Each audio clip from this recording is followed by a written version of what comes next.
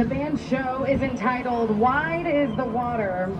The Nebraska State Bandmasters Association is proud to present drum majors Tanner Moss, Avery Owens, Brenna Syme, and Caleb Jones and the Marching Dragons.